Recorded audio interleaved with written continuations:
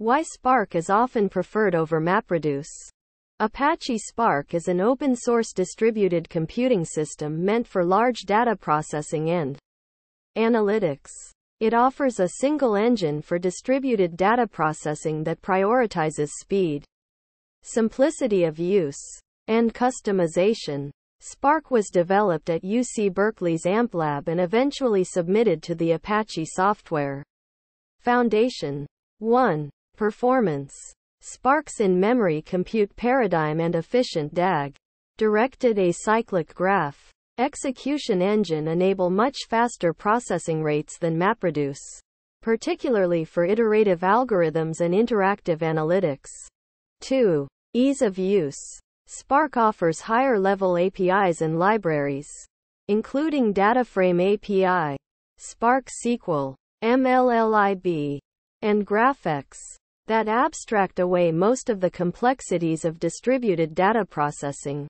This makes it easy for developers to create and manage big data apps. 3. Versatility. Spark's capability for batch processing, real time streaming, SQL queries, machine learning, and graph processing all inside a single framework makes it an adaptable solution for a wide range of data processing needs.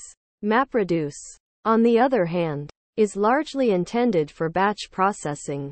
4. Fault tolerance within memory computing. While both Spark and MapReduce offer fault tolerance, Spark's use of resilient distributed datasets, RDDs, and in-memory caching algorithms can result in more effective fault recovery and quicker intermediate data processing. 5. Community and ecosystem. Spark has a strong and active open source community, which has helped to create a rich ecosystem of third-party libraries, connectors, and tools that work with Spark. This ecosystem makes it easy to expand Spark's capabilities and combine it with existing data processing pipelines. Overall, Apache Spark's speed enhancements, simplicity of use, diversity, and strong community support have contributed to its broad acceptance and preference over Classic MapReduce for many large-scale data processing jobs.